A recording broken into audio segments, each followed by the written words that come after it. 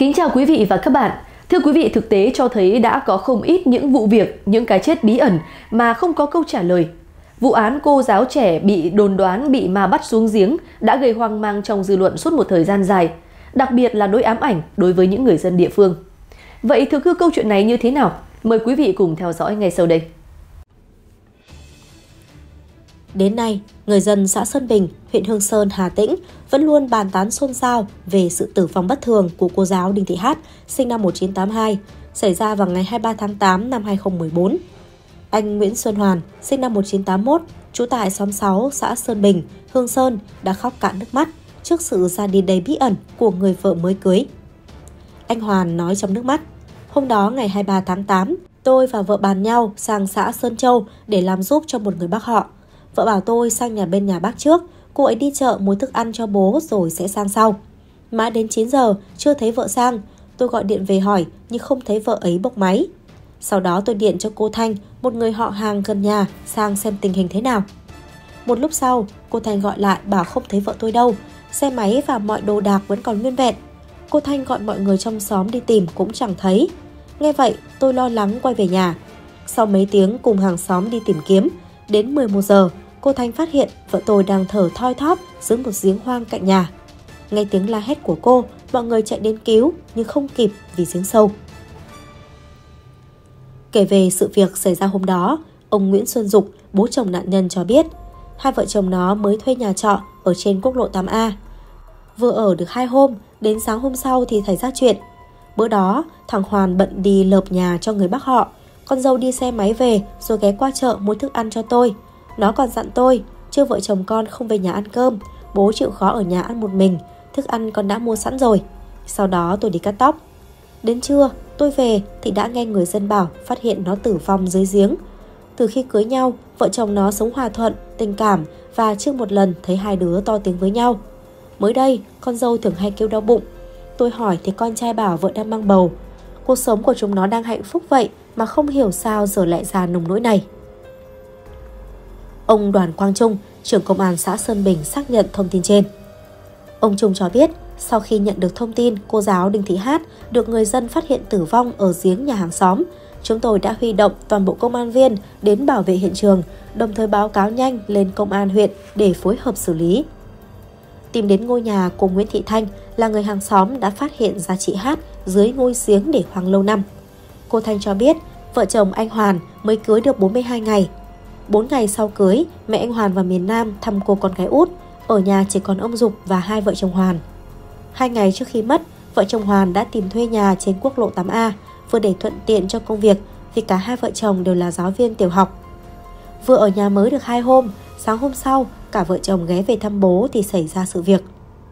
Sau hơn một tháng chung sống, anh đã vỡ hòa hạnh phúc khi nghe vợ thông báo mình sắp được làm bố. Vậy mà trong phút chốc, anh đã vĩnh viễn mất đi người vợ yêu quý và sinh linh bé bỏng chưa kịp chào đời. Bà Thanh kể lại, chỉ hơn một tháng trước, chúng tôi vừa đi ăn mừng đám cưới vợ chồng cô Hát, vậy mà giờ lại ra thế này. Cô ấy vừa mới về làm dâu nên chưa quen biết hết mọi người. Thỉnh thoảng cô ấy lại đến nhà mấy người hàng xóm ở gần chứ cũng chẳng đi đâu xa. Hôm đó thấy chú Hoàn gọi điện về, nhắn tôi sang bên đó bảo cô Hát qua nhà bác họ ăn cơm. Lúc tôi sang, gọi mãi chẳng có ai thưa. Tìm quanh nhà thì thấy mọi đồ đạc vẫn còn nguyên, chiếc xe máy vẫn ở đó. Sau một hồi tìm không thấy, tôi gọi những người hàng xóm khác cùng giúp đỡ. Chú Hoàn cũng về tìm nhưng không thấy tung tích của cô. Đến khoảng 11 giờ 30, tôi chạy băng qua một ngôi nhà nhỏ bỏ hoang gần đó thì nghe thấy tiếng thở rên rỉ, nhìn xung quanh lại chẳng thấy có ai. Bước đến cái giếng bỏ hoang mới tá hỏa phát hiện cô ấy rồi gọi mọi người đến. Một lúc sau, cả xóm đến để tìm cách đưa cô hát lên nhưng ai xuống cũng phải lên vì giếng sâu, nước cạn, miệng giếng nhỏ nên người nào xuống được một nửa giếng cũng lên vì ngạt khí. Sau đó mọi người dùng móc sắt kéo lên, nhưng lúc đó cô ấy đã tử vong.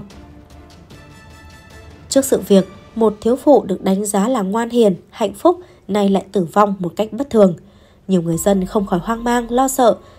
Đã có nhiều người cho rằng sự ra đi của cô Hát liên quan đến những vùng đất linh thiêng và giấc mơ lạ của cô trước khi tử vong. Ông Nguyễn Thanh Bình là một bậc cao niên trong làng cho biết, sau khi phát hiện cô giáo tiểu học dưới cây giếng hoang đã có những lời đồn truyền tai nhau. Người trong làng cho rằng việc cô gái ra đi bất thường là do má bắt đi. Ở vùng đất đó, nay chỉ còn 3 hộ gia đình đang sinh sống. Trước đây khu vực này rất đông vui, sau đó không hiểu vì sao, rất nhiều người sống ở đây đều gặp chuyện xui xẻo lạ thường. Cho rằng đây là vùng đất khó sống, họ bỏ đi hết, bây giờ chỉ còn lại những ngôi nhà hoang. Hồi trước, người dân địa phương gọi vùng này là đất xóm rú. Sở dĩ gọi như thế là bởi làng này nằm ở trên một ngọn đồi cao. Cái giếng cô gái tử vong ở đó là của nhà ông Toàn ngày xưa, này đã chuyển đi nơi khác khoảng 10 năm rồi. Hồi đó, vợ ông bị bệnh mất, trong nhà gặp nhiều xui xẻo nên ông ấy cùng các con chuyển đi chỗ khác sinh sống. Người ta bảo ở đây làm ăn không nên nổi, nuôi gia súc gia cầm đều bị dịch chết, con người cũng vậy. Bà Thanh là hàng xóm của cô Hát, trước đây cũng gặp câu chuyện không may mắn. Cậu con trai út của bà đang khỏe mạnh bình thường, bỗng tự nhiên bị động kinh dẫn đến tử vong. Bây giờ ở đó chỉ còn ba hộ dân sinh sống là nhà ông Dục, nhà bà Thanh và bà Minh. Ở khu vực đó, ít nhất cũng có khoảng 10 hộ dân chuyển đi nơi khác. Bỏ đất vườn lại ở đó. Nghe nói nhiều người đi xem bói về, được thầy phán ở đó có hai mẹ con ăn mày chết đói nên đã ảnh hưởng đến vùng đất này. Một người dân khác cho biết, hai vợ chồng cô hát chuyển nhà nhưng lại đúng dịp tháng 7 nên không kiêng kỵ, thành ra mới bị suối quẻ như vậy. Một người dân địa phương kể lại, vợ chồng cô Hát thuê nhà trên xóm 2 xã Sơn Bình nhưng lại thuê đúng ngôi nhà của gia đình lấy đất ngôi đền để xây nhà. Họ xây nhà chính giữa điện ngôi đền có tên là đền cửa ông. Mới đêm đầu, hai vợ chồng ngủ, người vợ mơ thấy hai con voi lạ đến quấy nhiễu và một người đàn ông đến đuổi đi. Lúc tỉnh dậy, người vợ kể lại cho chồng nghe rồi đòi chồng chuyển nhà. Đến hôm sau thì xảy ra chuyện. Nói về những tin đồn mang đậm màu sắc huyền bí đang truyền trong nhân dân sau sự ra đi chưa rõ nguyên nhân của cô giáo Đinh Thị Hát. Ông Cú Xuân Điền, Chủ tịch Ủy ban Nhân dân xã Sơn Bình, Hương Sơn cho biết, cùng sự phối hợp của xã, lực lượng công an đã tiến hành mổ và khám nghiệm để điều tra, làm rõ về sự ra đi của cô giáo Đinh Thị Hát. Tuy có rất nhiều lời đồn đại xung quanh sự ra đi bất ngờ của người phụ nữ xấu số, nhưng hiện nay cơ quan công an vẫn chưa có kết luận cụ thể. Cho nên, những thông tin đang chuyển đi đó hoàn toàn không có căn cứ. Đã nhiều năm trôi qua, đến nay hung thủ thực sự gây ra vụ án mạng rúng động này vẫn chưa lộ diện. Sau sự ra đi bất thường của cô giáo trẻ, những lời đồn thổi mang tính chất tâm linh vẫn được nhiều người dân dỉ tai nhau lan truyền. Vậy rốt cuộc ai là người đã ra tay tàn nhẫn với cô giáo trẻ xấu số? Hy vọng câu trả lời sẽ sớm được giải đáp trong thời gian tới. Mặc dù đã nhiều năm trôi qua, nhưng vụ án bé gái 11 tuổi bị giết hại, ném xác xuống giếng phi tang tại thôn Hoành Sơn, xã Phi Mô, huyện Lạng Giang, tỉnh Bắc Giang vào một ngày cuối tháng 7 năm 2012 thực sự trở thành nỗi ám ảnh kinh hoàng với những người dân vùng quê vốn yên bình này. Theo hồ sơ tư liệu, Hoàng Văn Minh, sinh năm 1963, chú địa chỉ trên, vốn có thói chơi bời lêu lỏng, suốt ngày chỉ ngập ngụa trong rượu chè. Vì không chịu nổi lối sống buông tha đó của Minh, vợ con gã đã bỏ đi. Nhưng cũng bắt đầu từ đó, Minh rời địa phương đi lang thang khắp trốn. Giữa năm 2012, Minh đột ngột trở về địa phương, sống vạ vật qua ngày. Thấy hoàn cảnh người chú họ đáng thương, vợ chồng anh Hoàng Văn Vê, chú cùng địa phương, động lòng thương và đưa về nhà kêu mang giúp đỡ. Nhưng có nằm mơ, anh V cũng chẳng thể ngờ rằng chính việc làm lương thiện đó lại khởi đầu cho một tội ác khó dùng thứ mà Hoàng Văn Minh đã gây ra. Cụ thể, theo thói quen hàng ngày, vợ anh V và hai người con khác ngủ dưới dãy nhà ngang, còn anh Vinh và cô con gái còn lại là cháu Hoàng Thị Ánh N, sinh năm 2002, ngủ trên căn nhà mới xây. Từ hôm đưa Minh về nhà sống cùng, Minh ngủ ở căn nhà mới xây với bố con anh V. Trong thời gian ăn nhờ ở đậu nhà người cháu họ, mình thấy cháu N xinh xắn nên nảy sinh ý đồ đen tối. Tối 28 tháng 7, anh về xuống dãy nhà ngang ngủ cùng vợ. Trên ngôi nhà mới khi đó, chỉ còn Minh ngủ ra nhà ngoài, còn cháu N ngủ trong buồng. Khoảng hơn 21 giờ cùng ngày, Minh rủ cháu N ra ngoài mua thuốc lá hút. Với tâm hồn trong trẻo của một đứa bé, cháu N không có chút nghi ngờ và đồng ý đi cùng với người ông họ. Tới tận dạng sáng ngày 29 tháng 7, khi nghe thấy tiếng xe máy rú ga gần nhà, tưởng có tên trộm nên anh V choảng tỉnh giấc và ra ngoài kiểm tra. Sau khi lượn một vòng quanh nhà, không phát hiện gì, anh V cầm theo chiếc đèn pin cũ tiến về ngôi nhà trên của gia đình để kiểm tra cô con gái ngủ thế nào. Tại đây, anh V hốt hoảng khi thấy giường ngủ của cháu N trống trơn. Phía ra ngoài, người chú họ cũng biến mất bí ẩn. Tìm kiếm khắp nơi không thấy con gái, gia đình anh V lo sợ nên đã tới trụ sở công an xã Phi Mô để trình báo sự việc. Tiếp nhận thông tin trình báo của gia đình anh về, công an xã Phi Mô phối hợp cùng công an huyện Lạng Giang vào cuộc điều tra xác minh. Sau 24 giờ tìm kiếm không có kết quả, sáng ngày 30 tháng 7, lực lượng công an tìm tới ngôi nhà hoang của Hoàng Văn Minh tại khu đồng trốn, cách nhà cháu N khoảng 1 km để kiểm tra. Đây là căn nhà cấp 4 bỏ hoang, rột nát, ổ khóa hoen dỉ, không có dấu hiệu bị phá. Khi tiến vào bên trong kiểm tra, công an bất ngờ phát hiện Hoàng Văn Minh đang nằm co so ở góc phòng. Nhìn thấy người lạ, mình lập tức dùng hung khí tấn công. Tuy vậy, công an đã kịp thời khống chế, bắt giữ đối tượng. Tại cơ quan công an, mình không có biểu hiện sợ hãi, lạnh lùng khai đã giết cháu N. Tuy nhiên, đối tượng này ngoan cố, không chịu nói nơi giấu thi thể cho bé. Một mặt tiếp tục đấu tranh với nghi phạm, mặt khác, cơ quan điều tra triển khai lực lượng để truy tìm tung tích cháu N. Tới khoảng 9 giờ ngày 31 tháng 7, khi tiến hành kiểm tra ngôi nhà thứ hai của Minh bị bỏ hoang trên địa bàn thôn Hoành Sơn, công an đã ngửi thấy mùi hôi thối khác lạ. Sau khi phát quang đám cỏ dại mọc um tùm, lực lượng chức năng bất ngờ phát hiện thi thể cháu N nổi lên ở tư thế thẳng đứng trong miệng giếng có đường kính tròn chừng 40cm. Để đưa được xác nạn nhân lên trên, cơ quan công an đã phải phá đi thành giếng. Chỉ tới khi công an tìm thấy thi thể của cháu N, Hoàng Văn Minh mới chịu khai nhận toàn bộ hành vi phạm tội. Cụ thể, Minh khai, khoảng 21 giờ 30 phút ngày 28 tháng 7, mình dụ dỗ cháu N sang ngôi nhà hoang định giờ cho đôi bạn nhưng không thành. Sợ sự việc bại lộ, Hoàng Văn Minh đã bóp cổ rồi vứt xác cháu N xuống giếng cạnh ngôi nhà bỏ hoang của mình. Với tội ác man dợ đã gây ra, tháng 2 năm 2013, bị cáo Hoàng Văn Minh đã bị Tòa án Nhân dân tỉnh Bắc Giang tuyên phạt mức án tử hình.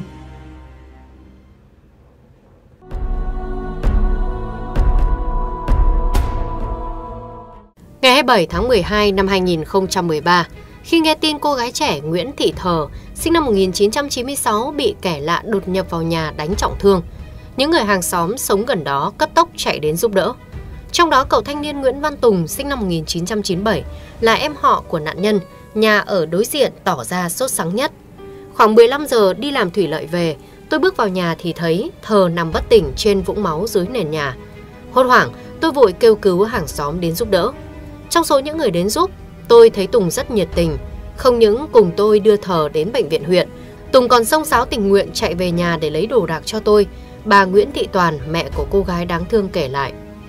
Dính một vết thương nặng do vật nhọn đâm từ trên đỉnh đầu, sâu 2,5cm, gãy một chiếc răng cùng nhiều vết thương trên cơ thể. Thờ phải nằm điều trị dài ngày tại Bệnh viện Đa khoa Thái An, thành phố Vinh. Đến ngày thứ 8, do số tiền vay mượn đã gần hết, bà Toàn đành xin bệnh viện cho con gái xuất viện sớm. Từ đó thờ được người thân đưa về nhà chăm sóc. Trong căn nhà nhỏ, nơi xảy ra vụ việc bị đánh trọng thương, cô gái luôn có cảm giác sợ hãi bất an. Nhất là mỗi khi mẹ vắng nhà. Hiểu tâm trạng của con gái, bà Toàn luôn động viên cố gắng chấn an tinh thần của con. Trong lúc vắng nhà, bà thường bảo thờ sang nhà mợ tên là Ngô Thị Tâm, 43 tuổi, để chơi cho khơi khỏa, đồng thời đề phòng trường hợp xấu lại xảy ra. Nghe lời mẹ, thờ thường đi bộ sang nhà cậu mợ chơi và cô gái tin rằng đây là nơi an toàn nhất.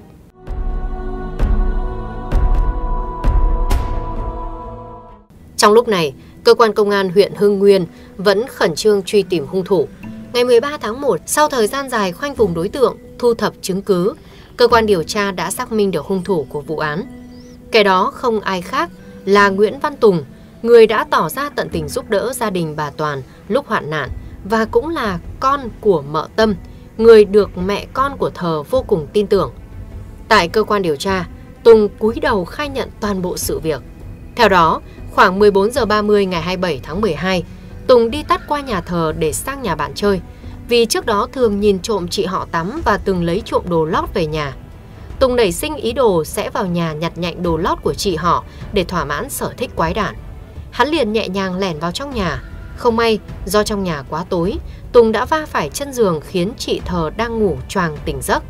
Quá hoảng loạn, cô gái kêu lên cướp cướp. Sợ sự việc bị lộ, Tùng đã vơ con dao gọt hoa quả rồi đâm nhiều nhát vào đầu của thờ khiến con dao bị gãy. Lúc này Tùng nhào tới bóc cổ rồi dùng dây lưng siết cổ làm nạn nhân ngất tại chỗ. Đổi bại hơn, Tùng đã thực hiện hành vi hiếp dâm khi nạn nhân hoàn toàn không có khả năng kháng cự.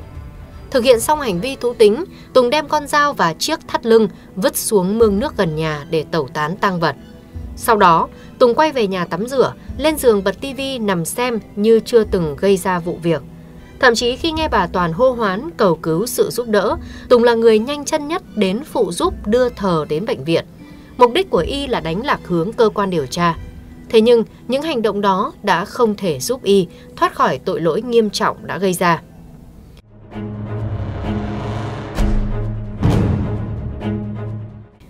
Nguyễn Văn Tùng, trong mắt người thân làng xóm, là một đứa trẻ ngoan, mặc dù Tùng học không khá lắm. Bởi vậy, cái tin Tùng là hung thủ sát hại rồi hiếp dâm chị NTT sinh năm 1994, chú cùng xóm, khiến cho nhiều người dân nơi đây rất bàng hoàng. Bàng hoàng hơn nữa khi Tùng và nạn nhân lại có mối quan hệ họ hàng gần với nhau. Bố làm mộc, mẹ quần quật ngoài đồng, anh trai lại đi làm xa, thành thử cũng ít có thời gian quan tâm đến Tùng. Thương em, anh trai của Tùng đã dành dụng tiền mua cho em một chiếc điện thoại di động. Không ai ngờ, nguồn cơn của tội ác mà Tùng phạm phải cũng xuất phát từ chính chiếc điện thoại này. Có chiếc điện thoại nhiều tính năng trên tay, với bản tính tò mò của tuổi mới lớn, Tùng vào xem các thước phim đen rồi nghiện lúc nào không hay.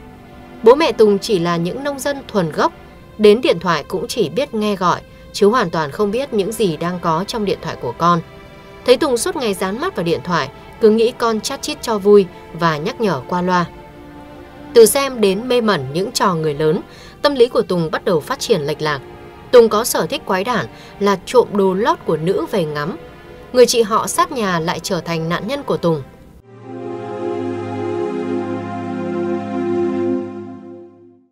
Sự thật được phơi bày, cả hai bên gia đình của nạn nhân và hung thủ đều choáng váng, không thể tin đó là sự thật.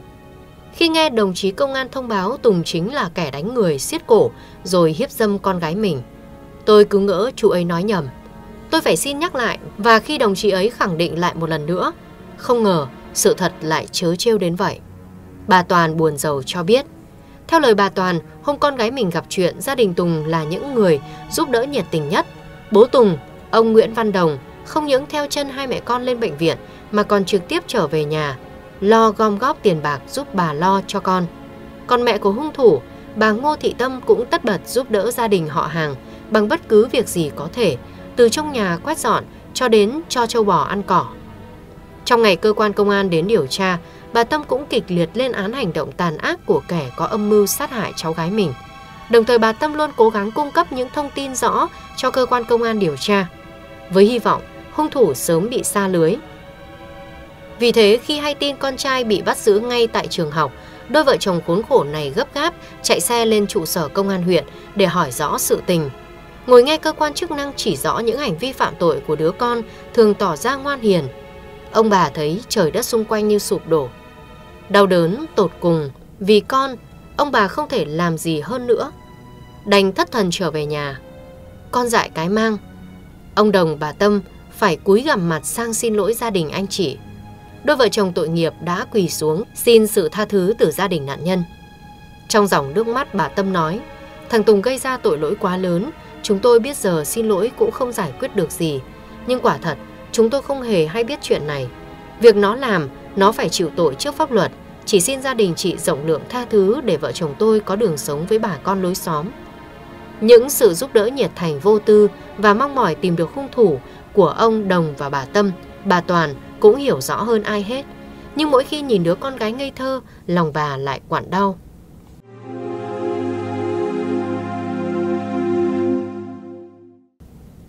Tới dự phiên tòa, cùng với mẹ con nạn nhân Nguyễn Thị Thờ, còn có người chồng sắp cưới của Thờ, sinh ra vốn chịu nhiều thiệt thòi, bố mẹ ly hôn, nên Thờ ở với mẹ.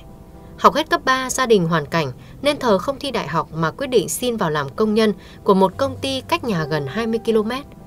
Suốt cả buổi xét xử, thờ gần như ngồi im lặng, chỉ trả lời câu hỏi của hội đồng xét xử. Khuôn mặt trắng trẻo xinh xắn, phảng phất nỗi buồn. Trước khi phiên tòa diễn ra, NTT đã xin rút đơn tố cáo đối với hành vi hiếp dâm của Nguyễn Văn Tùng. Tại phiên tòa, thờ cũng xin hội đồng xét xử xem xét giảm nhẹ hình phạt đối với bị cáo và miễn bồi thường trách nhiệm dân sự đối với Tùng. Rồi bà trầm ngâm, dù gia đình tôi đã bãi nại, nhưng việc thằng Tùng làm bậy với con gái tôi, cả làng cả xã cũng biết, chỉ sợ sau này trở về dư luận làng xóm khiến nó khó mà sống được ở cái làng này nữa. rồi khuôn mặt bà bỗng giãn ra khi nhìn thấy chàng trai trẻ rón rén bước lên, nắm chặt lấy tay con gái mình. Chồng sắp cưới của thờ đấy, bà hãnh diện khoe. Sau khi sự việc xảy ra, chàng trai vốn là bạn của Tê, thường xuyên túc trực tại bệnh viện để chăm sóc, động viên thờ, không e ngại về chuyện thờ đã bị người khác làm hại, mà chàng trai này còn bày tỏ tình cảm của mình. Sau một thời gian im lặng, vì sợ mình không xứng đáng với tình cảm của chàng trai, cuối cùng thờ cũng gật đầu đồng ý bởi thấy được sự chân thành đồng cảm của anh.